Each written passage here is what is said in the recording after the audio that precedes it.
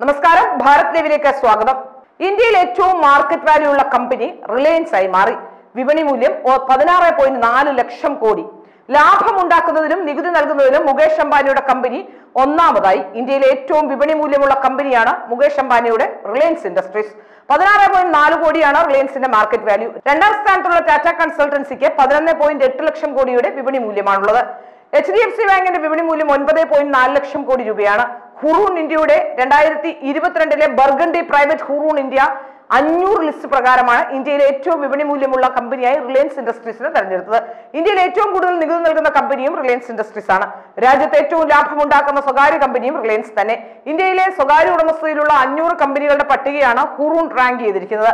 List ചെയ്യാത്ത കമ്പനികളിൽ ഏറ്റവും കൂടുതൽ മാർക്കറ്റ് വാല്യൂ ഉള്ളത് ആധാർ പൂനാവാലയുടെ സിറം ഇൻസ്റ്റിറ്റ്യൂട്ട് ഓഫ് ഇന്ത്യയാണ്. ഒന്നേ കോടിയാണ് ഈ കമ്പനിയുടെ വിപണി മൂല്യം. ഹിൻഡൻബർഗ് റിപ്പോർട്ടിനെ തുടർന്ന് അദാനി ഗ്രൂപ്പിലെ എട്ട് കമ്പനികളുടെ വിപണി മൂല്യം രണ്ടായിരത്തി ഇരുപത്തി മൂന്ന് ഏപ്രിൽ വരെയുള്ള ആറു മാസങ്ങളിൽ പകുതിയിലേറെയായി കുറഞ്ഞിട്ടുണ്ട്. റിപ്പോർട്ട് പ്രകാരം വിപണിയിൽ ഏറ്റവും കൂടുതൽ നേട്ടമുണ്ടാക്കിയത് H D F C bank I T C Housing Development Finance Corporation എന്നിവയാണ്.